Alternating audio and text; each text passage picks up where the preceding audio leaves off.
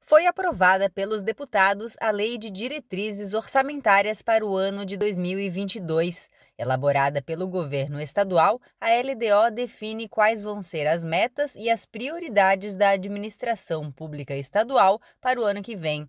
A estimativa é que Santa Catarina terá quase 34,5 bilhões de reais no orçamento para 2022, aproximadamente 3 bilhões a mais do que o estimado para este ano.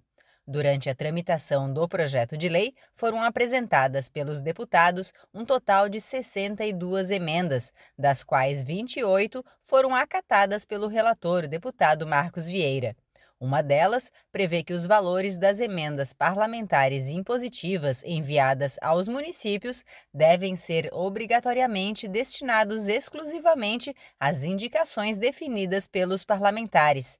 Em caso de descumprimento, os valores deverão ser devolvidos ao Estado e o município fica impedido de receber novas emendas parlamentares impositivas enquanto a devolução não for realizada.